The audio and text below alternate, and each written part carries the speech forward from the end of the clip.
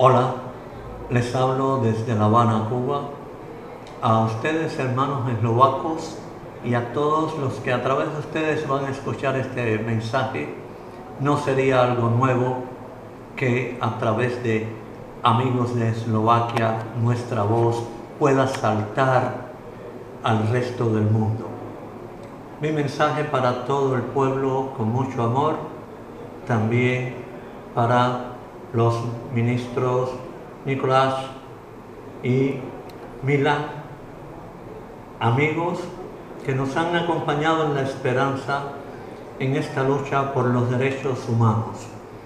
Y este es el motivo de este mensaje, o uno de los motivos, porque también es una ocasión hermosa para hablar, amigos, a personas queridas, a un pueblo que supo tener su nuevo sendero de libertad y de derechos, afirmándolo pacíficamente.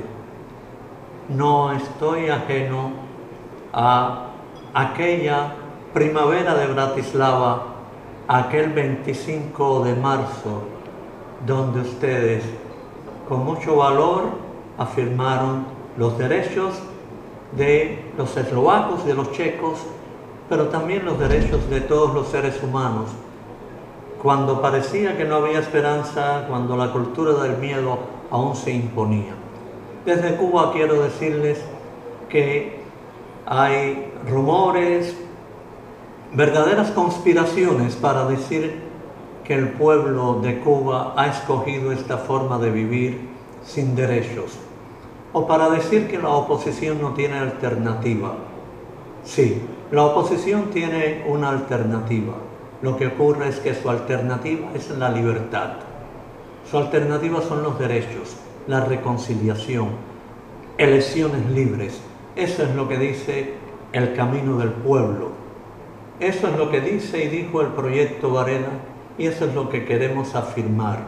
Si quieren acompañarnos como lo han hecho hasta ahora, en este Día de los Derechos Humanos y en este camino por los derechos humanos, acompáñennos para proclamar que nuestro pueblo tiene derecho a los derechos, que el pueblo de Cuba sí tiene camino pacífico, sí tiene esperanza, pero quiere la democracia y la libertad. Un abrazo muy grande desde Cuba para todos ustedes.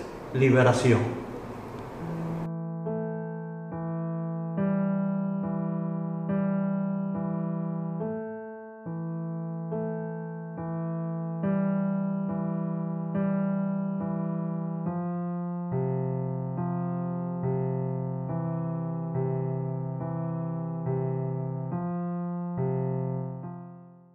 Я безумно благодарна Словакии, я безумно благодарна э, министерству и министру лично иностранных дел, поскольку на самом деле было огромное внимание к Беларуси, было огромное внимание ко мне.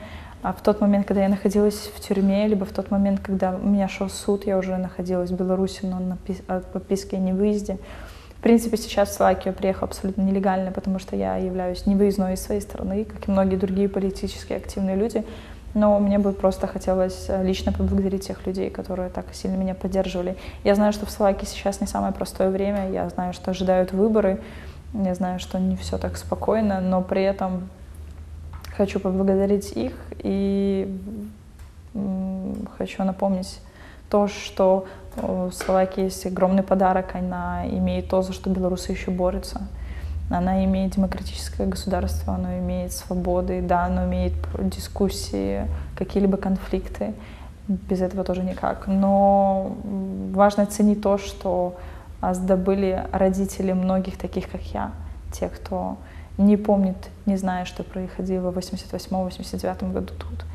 И я просто хочу, чтобы молодые люди в этой стране ценили то, что сделали их родители, чтобы молодые люди ценили то, в какой стране они живут.